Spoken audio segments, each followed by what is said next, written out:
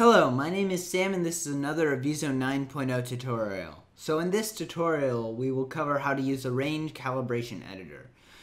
This editor allows you to break up your TIFF stack or, by, or grayscale image into multiple different parts automatically or manually. So the first thing we're going to do is we're going to click Open Data and we're going to go to 9.0 Data Tutorials and then motor.am. And we're just going to click OK. So then we're going to click on motor.am and then we're going to click on this button. So this is the range calibration editor. So if we click yes, we can choose the number of ranges. So I'm going to first start with 10 ranges. Uh, as you can see, it detects 10 different ranges. Ranges 1 through 7 and exterior.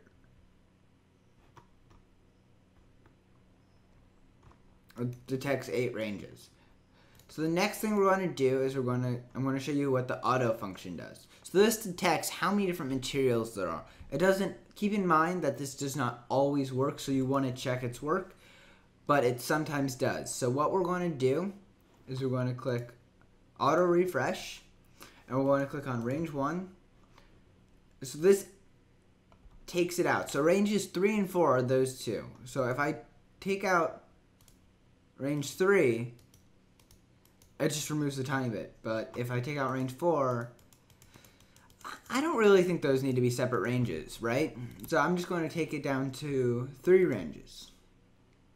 Or 4, yeah, 4 ranges. So let's detect 4 different ranges. So let's see what each of these does. I don't like how many...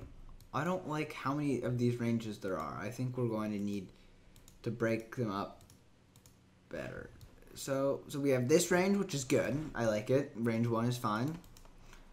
Range two, uh, I think we need to combine ranges two and three. So I'm just going to, what I'm going to do is I'm going to take out and just go down to three, detect. I can then move this to 181, the last, what it was, and now we just have range two, which looks really pretty good we can move it around right here and if we use auto it will automatically update it. So that's a tiny bit too much so I just want it right there. We can also show how these ranges are distributed like what's in exterior what's in uh, range 1 and what's in range 2 if we want to rename these ranges, we can use this exterior.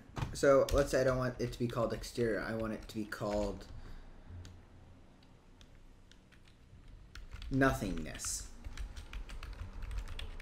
I just write it right there with a space after it. If I don't want range 1 to be called range 1, let's say I want it to be called let's say material one. As long as there's no space, there needs to be a space between each name, and there can't be any spaces within the name. So it can be material one, like that.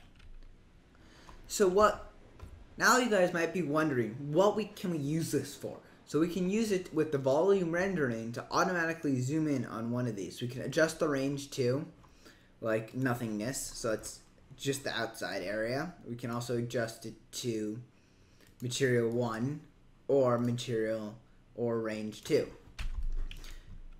Other things we can do, if we're using interactive thresholding, we can automatically zoom in using material 1 or material 2 or range 2 and just select those really quickly.